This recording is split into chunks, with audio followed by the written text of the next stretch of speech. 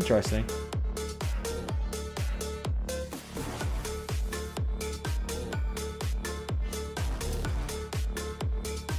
Like, uh, it's through the hips, but there's also like hand movement going on. Okay. Fascinating.